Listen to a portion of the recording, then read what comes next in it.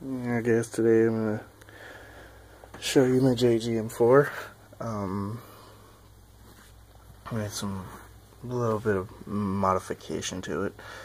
Not much, not much, just a bit. Um, when I added a an aftermarket razor rail, it's all aluminum and whatnot. It came with the foregrip, and the laser was separate, and the flashlight was separate. Um, the aftermarket and the uh, the red dot, the uh, Aimpoint, the uh, reflex set on the top. Took that off my G36. I run my G36 uh, um, bare now. I don't run any attachments on it. Not even the PEQ box that mm, some of you may may have seen on my G36, the CIA that I used to rock because I was too lazy to take the handguard off. Um, um, I do plan on running a PEQ box because mine is broken at the moment.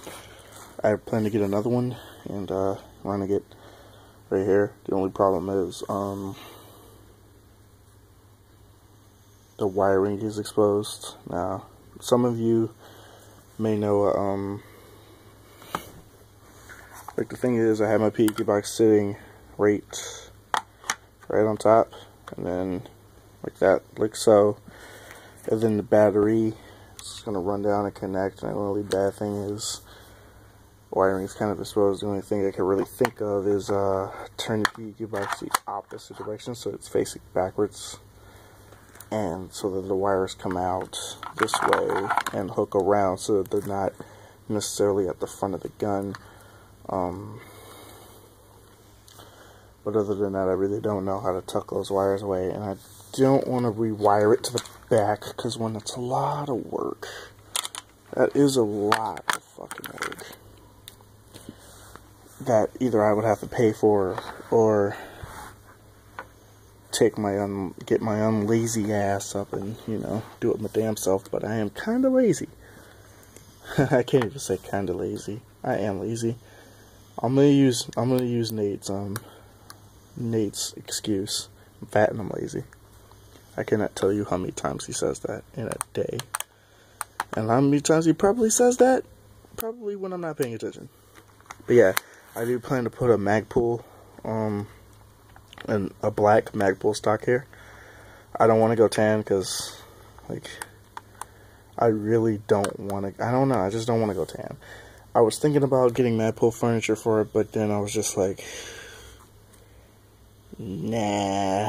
For some reason, I just, I just thought getting a, getting a, um, get a rail handguard would just be better. I do plan on getting some, um, rail covers right here for this one. Maybe like the the ladder type or like I don't know like damn I forgot how what the ones that are called but the um basically the rail covers that like go in between each segment of rail and cover that up nice and because everything else will be covered with something and then I may put like little sections right here to kind of cover that up and then little sections under the flashlight and whatnot and maybe in here next to the uh, basically anywhere where there's not any rail being used. Because this is some really sharp rails, I mean, whew. And it took me, um, because the rail didn't exactly fit, and as you can see, there's, um, these screws right here. Those aren't the screws that came with it. This rail does not fit in this gun at all. I had to do a little bit of modifying and pushing and shoving and so much frustration went into putting this rail on. It was just like, oh my god. If I don't get this rail I'm gonna kill somebody. I spent like, I'm not, I spent like a legit good hour just trying to get this rail on, and I, I got so frustrated. Until I figured it out. What I had to do to make it fit was I had to push the delta ring, like the, um, for one half of the hour, I was actually trying to put it on backwards because when I tried to put it on the right way, it wouldn't fit. So I'm just like, what the fuck? Maybe if I turn it backwards. And I spent like two hours just trying to put it on the normal way. And at first, because of the little ring around here inside the delta ring, it kept fitting sideways. Like like my handguard like slanted, and it would it just wouldn't fit right. So I like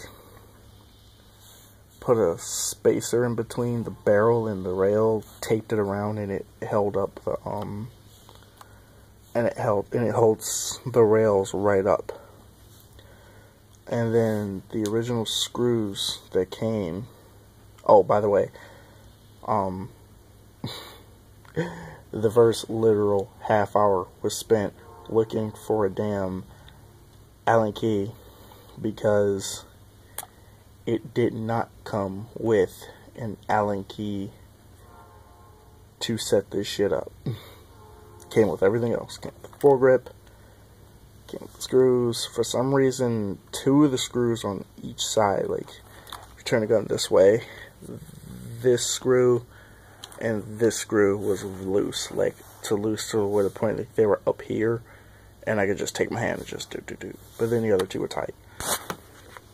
So I spent half an hour trying to find a Allen key small enough, which I had, but don't know where I put it because I it came with um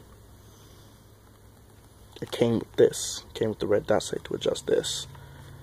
The ironic thing is I have one now because I just bought a skateboard and I need it, it came with an Allen key and a little small wrench. Karma. Um, so half the hour, half an hour was spent doing that. The other half hour was spent trying to just put this thing on and the frustration that mounted that and all in all, it was worth it. I mean, damn, look at that. That just looks badass. And the suppressor, damn, I don't know. I think I might get a smaller one because it makes it look cool. But the only thing is, it's really front heavy. And it's not the rail that makes this thing front heavy because I've taken the rail off of it. And with the rail on it, it actually balances, the weight balances out very, very good. But I think when I actually go play airsoft, I think I might have to take that suppressor off because my shoulder, my left shoulder is kind of bad due to a wrestling injury. And, uh,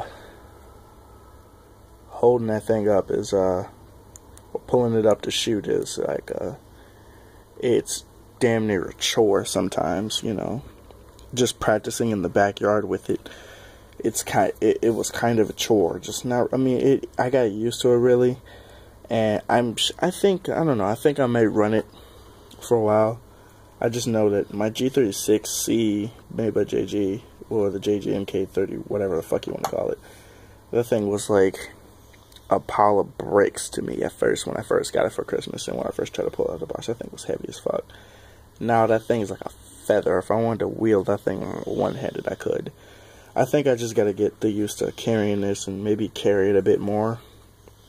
Then it'll it'll start to it'll you know once I I guess once I break it in really to um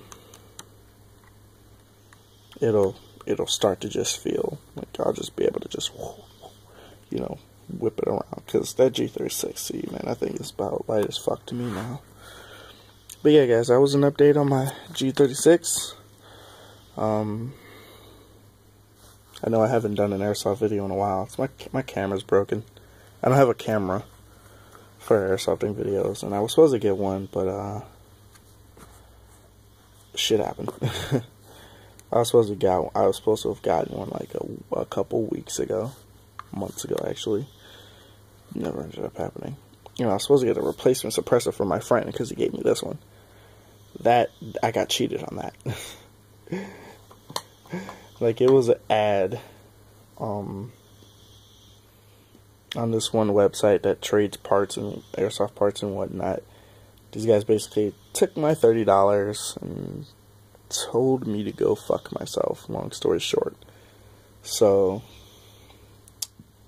yeah, now I gotta. I either I'm either gonna pay my friend back or just I'm gonna go to Amazon or something and try to find the suppressor he wanted. So yeah. That's been my M4. See ya.